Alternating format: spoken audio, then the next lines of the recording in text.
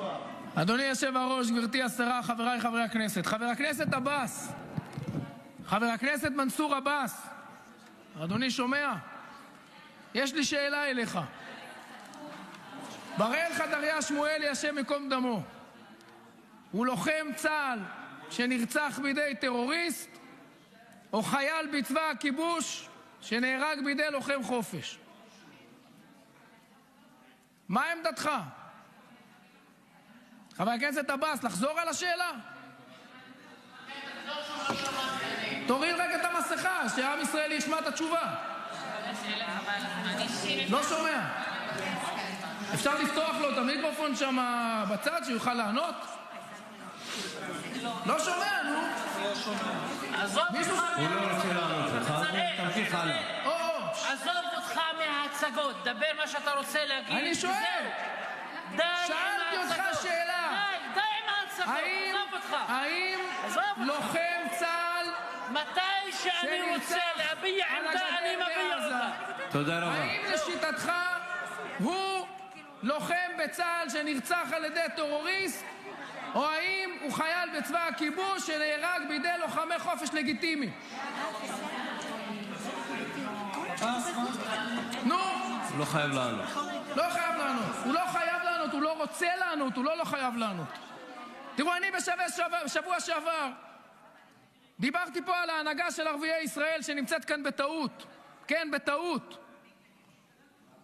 אנחנו בעידן של השתקה.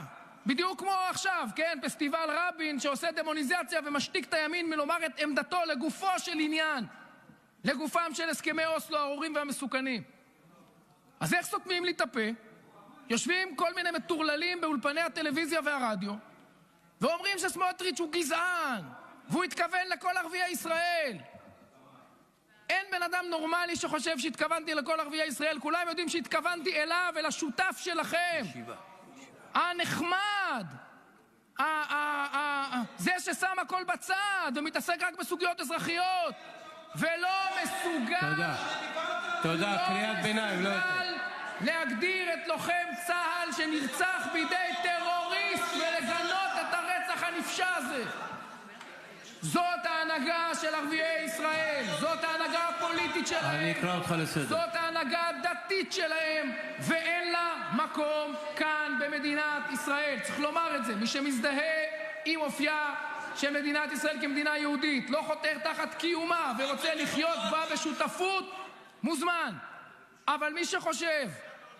שבמתק שפתיים ובכל מיני עטיפות הוא ימשיך לנסות להילחם במדינת ישראל, לתמוך בגרועים שבאויביה שמבקשים. להשמידה, אין לו מקום כאן, זאת לא גזענות. זה שכל ישר, זה. היגיון בריא, זה עם לסיים. חפץ חיים בארצו אחרי אלפיים שנות גלות ונדידות שלא. מוכן לוותר. אנחנו לא נוותר, אנחנו ננצח את הטרור.